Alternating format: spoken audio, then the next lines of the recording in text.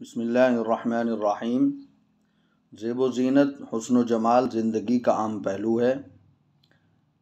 اسلام نے اس کے متعلق بھی ایسے، ایسی جامع ہدایات دیں جو نہ حد اعتدال سے بڑھی ہوئی ہیں اور نہ ہی اس سے کم ہیں۔ زیب و زینت کے متعلق شریعت نے چند اصول بیان کیے۔ بالترتیب ان اصولوں کو بیان کیا جائے گا۔ نمبر ایک اصول یہ ہے کہ زیب و زینت، بناؤ سنگار ایک فطری چیز ہے۔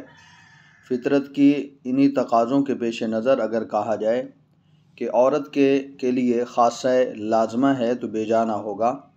شریعت متحرہ نے انہی فطری تقاضوں کی وجہ سے نہ صرف زیب و زینت کی اجازت دی، بلکہ بعض صورتوں میں ترک زیب و زینت پر ملامت بھی کی۔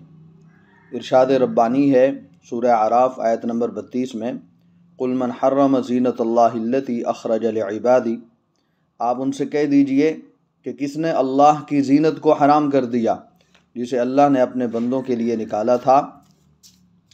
سورہ زخرف آیت نمبر اٹھارہ میں اللہ سبحانہ و تعالی ارشاد فرماتے ہیں، اب من یونشا فی الحلیتی و فی الخصام غیر مبین۔ عورتوں کے بناؤ سنگار کے متعلق فرمایا، کیا وہ جو زیور میں پالی جاتی ہے اور بحث و حجت میں اپنا مدعا پوری طرح واضح بھی نہیں کر سکتی۔ اسی طرح سورہ نحل آیت نمبر چودہ میں زیب و زینت کے اسباب کی تلاش کو بطور نعمت اور احسان کے ذکر فرمایا وہ سخر البحر لتأکلوا منه لحما طریا و تستخرجوا منه حلیتا تلبسونها۔ وہی ہے جس نے تمہارے لیے سمندر کو مسخر کر رکھا ہے۔ تاکہ تم اس سے تر و تازہ گوشت لے کر کھاؤ اور اس سے زینت کی وہ چیزیں نکالو جنہیں تم پہنا کرتے ہو۔ اسی طرح ایک جگہ اللہ سبحانہ و تعالی ارشاد فرماتے ہیں، سورہ رعد آیت نمبر سترہ میں، وَمِمَّا يُوْخِدُونَ عَلَيْهِ فِي النَّارِ ابْتِغَاءَ حِلْيَةٍ أَوْ مَتَاعٍ زَبَدٌ مِثْلُ۔